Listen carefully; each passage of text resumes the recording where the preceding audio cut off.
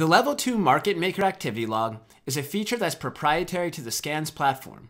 This activity log keeps track of changes to the Level 2 screen.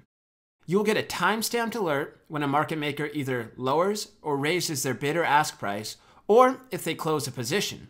This can save you the time of staring at a Level 2 window all day hoping a market maker changes their order. This is particularly helpful for penny stock traders who may be trading less liquid names. For example, on a highly active stock like Apple, you'll see that the market maker activity log changes pretty frequently. It would be difficult to look at this information and make trading decisions. For a less liquid stock, such as an OTC penny stock, you'll see that it changes every now and then. This is particularly helpful when you're analyzing the behavior of a certain market maker. For example, let's assume that the market maker NITE is on the ask all day with a big order you come to the conclusion that the stock is unlikely to move up in price until this order is either lowered or removed.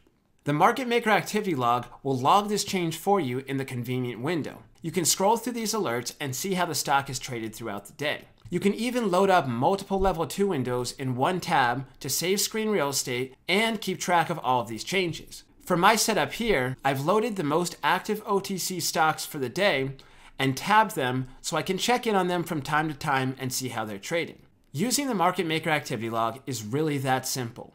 To get started, simply load up the Scanz platform and open up the Level 2 module. Best of luck with your trading and reach out if you have any questions.